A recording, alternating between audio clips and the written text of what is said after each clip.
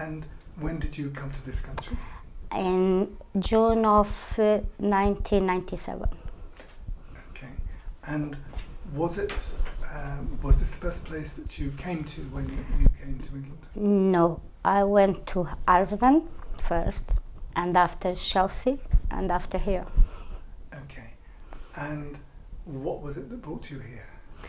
Uh, looking for a better life for my kids, because I have three already, and my country at the moment don't give jobs, don't give nothing. Uh, my husband come first, and I come after him with the kids. So. Okay. Um, so, could you tell me your memories of moving into Trellick Towers? Um, at the first time, I'm a little bit scary because it's a big building. and we hear so many stories about that. This is, is like uh, not good to raise kids in the area and things like that. But when I come here, I saw uh, some so big house. I fell in love with the house, and I said, I said to my husband, look, it's not the area makes the people, it's the people makes the area, and we need to to try our best to raise our kids. This is what we do. you say you fell in love with it. Mm. What was it about it that you fell in love with? Because another house I saw it, they are so so small, and I when I went to my kitchen and they are so big, like in my country, we have a big kitchens and things like that, and I fell in love and and I, I felt like I'm in home as well, because there's so much people around speaking Portuguese, speaking Spanish, and I feel like I'm not alone here. So it was the flat rather than the whole building that you fell in love with?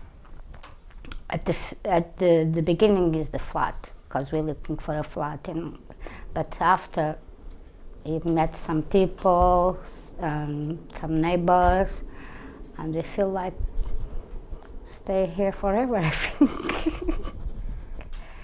Do you remember the actual day that you moved in? Yeah, 1st of September 98. And could you tell us about the experience of moving in itself?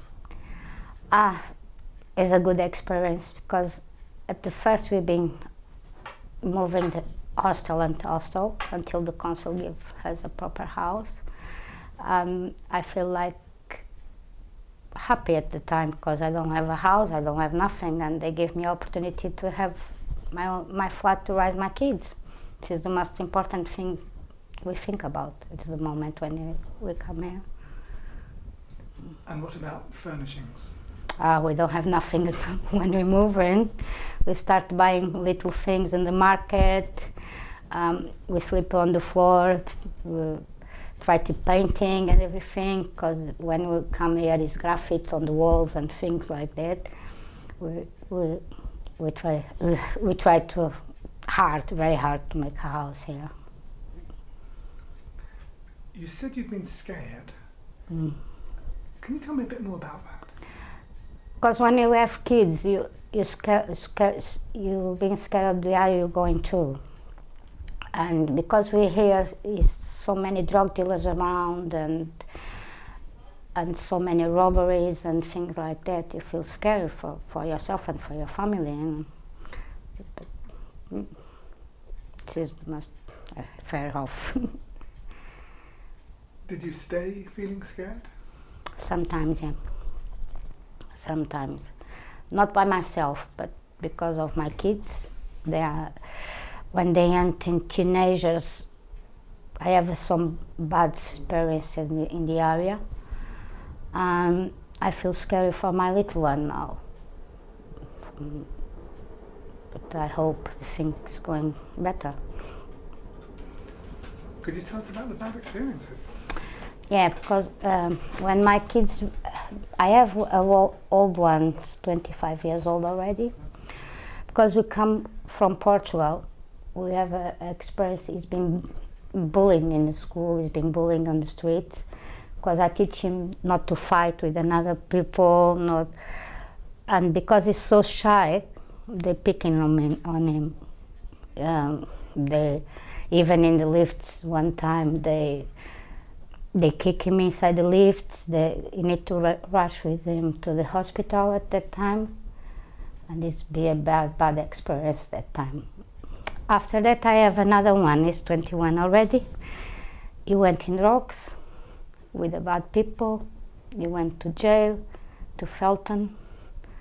Um, I tried to go to, to straight, but it's impossible. He went with the wrong people, old, older than him, and now he's regrets because he don't have a job. Every time he's going to a job, they want a criminal record, and they have a criminal record. He have a little girl to take care, and they don't have a job. But now I'm af- I'm afraid for the little one. So, how do you feel about living here? I'm safe on my home, but I don't feel the kids is safe on the streets. And because you know, in my country, sometimes when they're doing bad things, you can slap them and teach them, and here you can can even give a, a little slap or you get in trouble. This, I think this is the big big problem. Even when the, with my my son in the school, I think the school is not. I don't know. I don't. The schools is not be prepared for these kind of things. Because uh, if they're not doing in school a good behavior, what they doing? They send them home for one week. This is what they want to be in home, not doing nothing. And and if uh, when this has happened to my son, I need to give up uh, one job because I need to be home with him because he's, he's not allowed to be by his own because he is underage. And I have so many troubles at that time, so many troubles. And I don't know, I think the, the school needs to be more thinking about the parents and the, the and I don't know, instead of they send them home for one week or two weeks or exclude them from the school, they need to think another ways to punish them inside the school, mm, like to more work for, for them, be alone or something that, but in school because it's very important. They learn and they they learn how how to you know to give respect for another ones because I think the kids today they don't have respect for no one for they don't have respect for mom mothers they don't have respect for fathers have respect for anyone these days I'm going to hand over to, to Mickey. A little request. I mean, that is it's fascinating. If you could not look at these two, just pretend they don't exist. okay then. Um, Mickey, anything else on that? When when did you move in? Do you remember the what the year? I think you Here? before. Yeah. yeah one uh, first of September 98 Okay. And what was 90, a- yeah 98 yeah 98? And what was the area like before? Rough. It was rough. yeah it's rough. Okay. And what what kind of things did you see on the street or? Uh, robberies at daytime. At around daytime? daytime. Around four o'clock five o'clock. Special on the back on the on the garden. Yeah, on the on the back side. And drugs everywhere. And how long did this go on for? Quite a few few years quite a few years until they put some cameras around and and do rides around houses and things like that Did you ever speak to the council and say maybe this flat isn't for me? Um, I need to move on for the. yeah i try Mm. but they tell me there's no flats around and we need to take this one or we don't have any anything else so Mm. So it went on for, um, he said a couple of years and then it calmed down. Mhm. Um, and things were better for you, for your children. You felt more Mm. safe, would you say? Or? yeah it's better now it's not so rough but still have some issues on the street. And did it help to have um, the community around? Because I, before you said that, you know, it was nice that there was Portuguese speakers. You know, felt like there was a community, like it was almost back home. Did that help to kind of It's sti- keep you? yeah, it's, it's still a, it's still have a, a lot of Portuguese people community and Spanish around, but you know everyone mind his business and they don't care about another ones. This is the truth. You know. And do, do you have um, quite close friends that you? One or two only, yeah, close friends. Well, it's nice to have one or two. Isn't it? Yeah. So, you know, But family is not here. Everyone is in Portugal. My mom, she's living in France. I'm by myself here.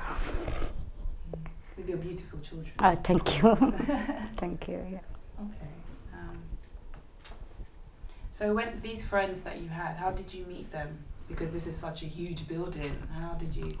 Around the school, when they went to primary school, we, we have uh, uh, two Portuguese girls. They have uh, kids as well, the same age of me.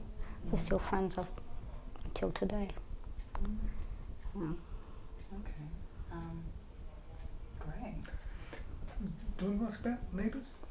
Yeah, your neighbours. Um, you said that you know everyone kind of is concerned with themselves and keeps themselves to themselves. Yeah. Um, but I guess first of all, in general, what are your neighbours like? Do you? Nice names? people. Mhm. Yeah, they are nice people. Everyone is quiet. They say good morning, good afternoon, bye bye. Yeah. And um, what kind of range of people? Are there quite a lot of families or? Uh, families, yeah, most of them they are families. Yeah. Mhm. Okay. Um, and are they similar age to to your children or? Mm, yeah, some of younger, some is the same age. Yeah, my older ones. And what's the makeup? Um, in, as in, um, are there a lot of Portuguese families on this this floor? No, it's English. Mhm. I think it's not English. They are Irish and some Arabic as well. But Portuguese on this floor is only me. Quite a nice mix though. Isn't Yeah. It? It's, it's kind of like London, isn't it? Yeah. There's such a mix of people. Mhm. um, and they can live together. You know, Yeah. No problems. Have you ever had any problems with your neighbours? Like noise, playing music? Only the loud? downstairs one. downstairs. Yeah, the downstairs one. She, since she is moving in, I think she's by the flat. She's the owner of the flat. She's been complaining about everything. Even if my my little one, she's walking on, The, she's coming and knock on the door. Last time she come and knock on the door and offer money to buy a carpet. Oh, really? I said, I'm not sorry, but I can do nothing. She's a little one. She's running around. I can do nothing. Did you say that she owns the flat Mm. downstairs? Okay. There she is. So on this floor, is that is there a mixture of social housing and private? Yeah. You know. Yeah. Okay. Um, and the and maybe you might not know, but those who actually own um, their properties, what are they? Families or working couple? Do you know? Uh, the downstairs one I know is a family. It's her and her, her son as well, but I think her son is moving away because he's living far away here from. She's by herself now, and I have on one or six uh, young couple is by as well. The flat, they own the flat as well. Okay. Um, great. Anything from you? Yeah, you said about um, about the person downstairs. It might sound a silly question, but when she comes up and bangs on your door about the noise, how do you feel about that? bad because we can do nothing about that you know you can do nothing about it she's complaining to the TMO all the time and the TMO write me letters but I can do nothing about that you know. it's daytime she's playing around I can do nothing and I'm not and I don't think she's allowed to come on my door knocking at 11 o'clock in the morning because my my children is is walking or running around or making noise, um, offer him to buy a carpet.